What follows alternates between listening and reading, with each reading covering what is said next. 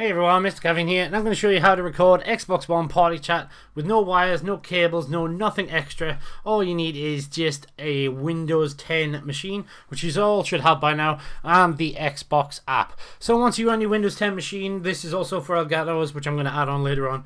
Um, all you want to do is start the Windows 10 Xbox app and then let it load. Now, it'll probably log you in with your primary account, but what you want to do is basically just create another account. You can do this on Xbox Live website. You don't need to pay for it.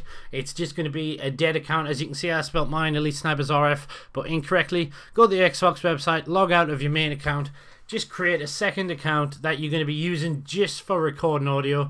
This doesn't need Xbox Gold or anything like that. The next thing you want to do is right click on your sound options and go to recording devices, as I can see on the screen, and then right click and show disabled devices. And what we're looking for is the stereo mix. What you want to do is right click and enable on stereo mix. And then what you want to do is turn your volume to about halfway. Any more than that, you're probably going to start getting some bounce backs and audio loops and stuff like that.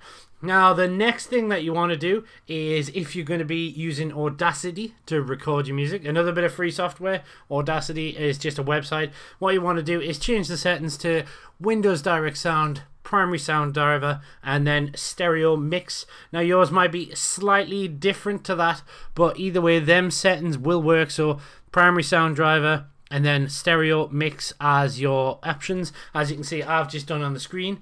And then what you want to do is get yourself to the next stage. Now the next stage is the obviously this bit's for the Elgato people. Um, this is the Elgato capture card software. On the bottom right you want to switch that option to stereo mix so it'll pick up the same party chat that you're going to listen to. And then hit the commentary button and that will feed in the audio from the party into your capture card so you can record it. Now this is the last bit, this is actually the easiest bit. What you want to do is get your character on and make sure you mute him, mute your second character that's going to be recording the audio, right click on his name and mute, otherwise every noise from your PC will loop back through the party and it'll be really annoying.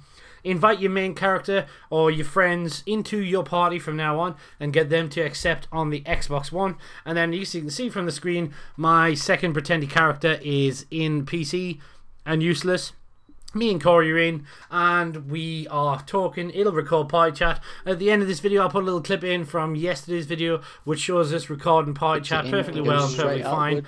And that's it. So obviously for the Elgato people, it's going to be a lot easier because you don't have to time it. For the Audacity people, you're going to have to press record and the video record and try and get the timing right. That's how you do it. It's easy. You don't need no wires and it works very well. So please hit the like button.